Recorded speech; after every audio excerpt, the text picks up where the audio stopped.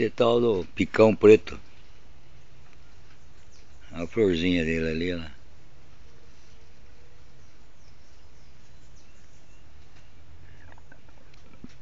Picão preto.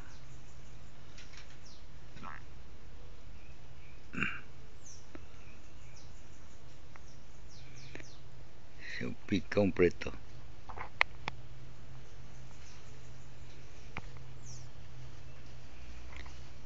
Picão preto. É mel também com um monte de coisa, né? Vamos ver como é que ficou esse vídeo aí, né?